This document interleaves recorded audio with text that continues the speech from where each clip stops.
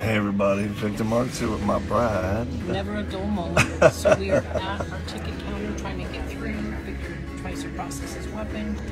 Ticket counter guy doesn't understand the process, so he made him do something that was not normal. And I called him on it. he did. was And like, hey. Actually, the guy said, if you don't like the way I do it, go to someplace else. He literally stopped, gave me back my ID. Yeah. Dumb.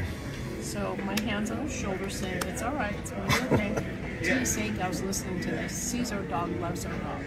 We gave her a little card, and she actually found us in the airport. She came to us and said, thank you so much for what you do. She's been praying about where to tithe. And she goes, can I tithe to your organization?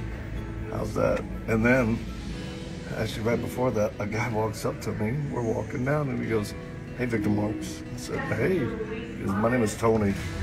And long story short, you know, he's love you guys, probably love the dog.